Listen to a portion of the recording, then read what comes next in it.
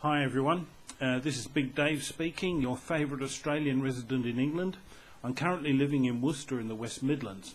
We've had a pretty miserably cold and wet winter and spring this year. I've made this short video to show my friends and relatives some of the snow we've had at the end of March. This is my street and the little car park where I keep my car, just near my flat. This is my car outside the flat. You can see the snow. Uh, there's Perry Wood at the end of the street. Uh, you can see the snow on the trees. There's the front of my ground floor flat. Here's the area near the river, which was flooded at the end of last year. There's the area next to the Tech College where I'm doing my City and Guilds course.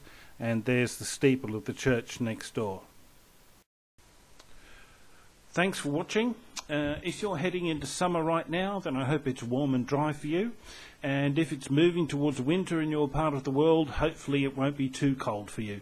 Lots of love and hugs to all. See you later. Bye for now.